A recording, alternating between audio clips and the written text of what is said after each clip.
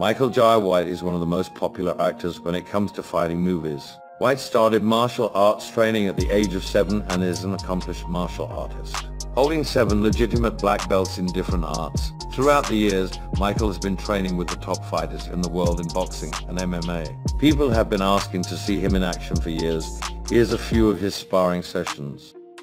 In a playful sparring against Jon Jones, White has showed his kicking skills and was able to land a few of them on the former light heavyweight champion.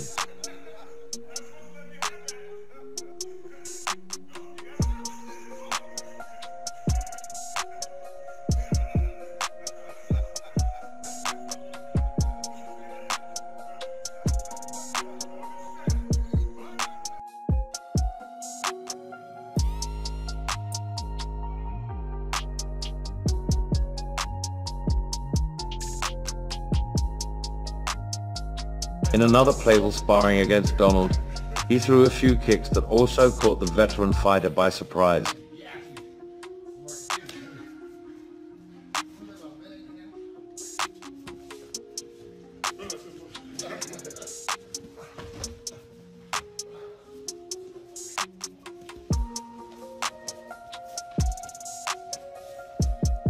Here's another sparring session with a professional MMA fighter where he caught his opponent with surprising techniques. Foot sweep, kick counter and tricky kicks.